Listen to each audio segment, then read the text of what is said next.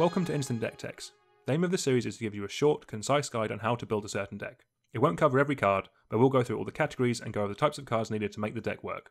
Any card mentioned will be down in the description below. The commander of this deck is Golos Tireless Pilgrim. Golos costs 5 generic mana. It is a 3 5 legendary artifact creature scout. When it enters the battlefield, you may search your library for a land card and put that card onto the battlefield tapped, then shuffle your library. It also has 2 in a WUBRG, exile the top 3 cards of your library. You may play them this turn without paying their mana costs. The aim of this deck is to get Golos out and then use his ability to cheat huge creatures into play, which will then win us the game. While Golos does cheat out all spells, this build won't be running too many large instants and sorceries. I also know that Golos is a very popular landfall commander. If you want to take the deck in that direction, I would recommend watching our deck tech on Omnath, Locus of Creation, as it's a very good base for that style of deck. Links are down in the description below. For this deck tech, and cheating threats into play, we'll be running Jegantha as a companion. The restriction of having no cards in our starting deck have more than one of the same mana symbols in its cast is made up for by the fact that we will have easy access to Jegantha's tap ability, and the ability to make the WUBRG mana we need to trigger Golos. It also makes the deck monumentally cheaper as well, as it will effectively be a green blue deck splashing the other colours. The first section we're going to go over is the ramp. We want to be getting Jegantha and Golos out as quickly as possible, so we can start cheating things into play. I would firstly recommend cards that can look up tutoring non basic forests. These will work great with any budget jewels, which we'll go over in the land section. Farseek also has a spot in this deck, as it does the reverse of the previous cards. We're also going to be running the full suite of good green ramp. Rampant Growth, Kodama's Reach, Cultivate, that kind of thing. Also, as our commanders aren't too restricted in their casting costs, you can even run Sol Ring and also Arcane Signet. We want to run at least 8 bits of ramp, but you can easily run up to 12 here, as eventually we may need to hardcast some of our big threats. We also want to run some extra ways of cheating things into play, so we have some redundancy for Golos, but it also never helps to have them at the same time as Golos, so we can have some really explosive turns. I wouldn't run less than 6, but you could easily run up to 10 here. These cards I've listed here all let us cheat cards into play from our hand or our library. You can also look at Cascade, which will be great in the deck.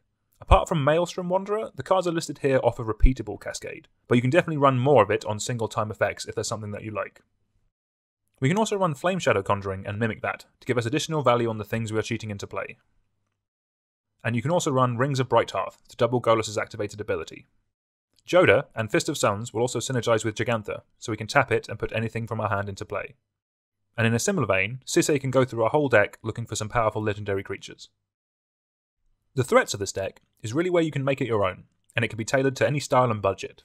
If you like Eldrazi, then you can run some big Eldrazi. If you like dragons, then you can run some big dragons.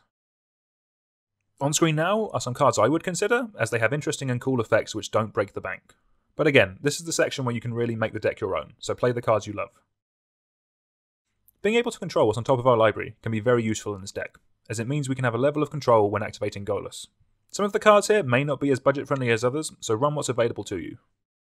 We can also run some effects that untap our creatures, as untapping Jegantha especially will mean we are more likely to activate Golos more than once per turn. For the card draw, this will be very much dependent on what other effects you are playing.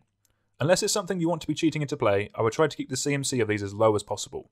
And also having Scry on them will be a big help, so it'll help us fix the top of our library. I would also, where possible, try to keep this in blue and green.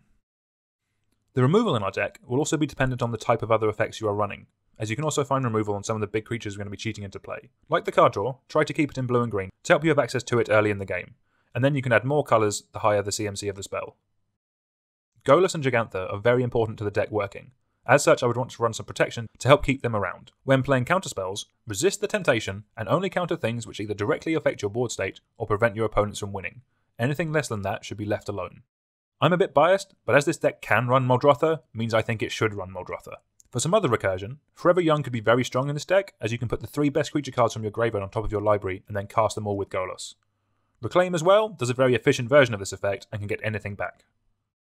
One of the main reasons of running Jegantha is to help with the mana base. This deck could very easily get away with running all basic lands. The main downside to that is that you become very dependent on Golos and especially Jegantha.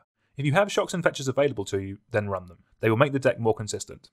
If not, then with the spells we are running that shoot of non-basic forests from the deck, look at the triomes, the cycling lands, and the battle lands. Unfortunately, at the moment, these aren't complete cycles, so I would look for a mix of those three. To help with this, you can also run Krosan Verge to tutor up non-basic forests or plains. Outside of these, Command Tower, Exotic Orchard, and Cascading Cataracts are all good includes, and would probably be the choice to tutor for from Golos' ETB effect. While we're talking about the mana base, these four cards all make it so that our lands can tap for any colour. They are not super budget, but they can be very good in the deck if you have them. Also, personally speaking, I would not run any utility lands in this deck. The only possible exception to this could be Field of the Dead, but if you're doing so on a budget, be prepared to play a lot of dual lands that come into play tapped. This video was a request from a viewer. The next couple of deck techs you will see will also be from requests in the comments. If you have a deck you'd like to see, please let us know. If you like the look of those, please consider subscribing. Thank you very much, and we'll see you next time.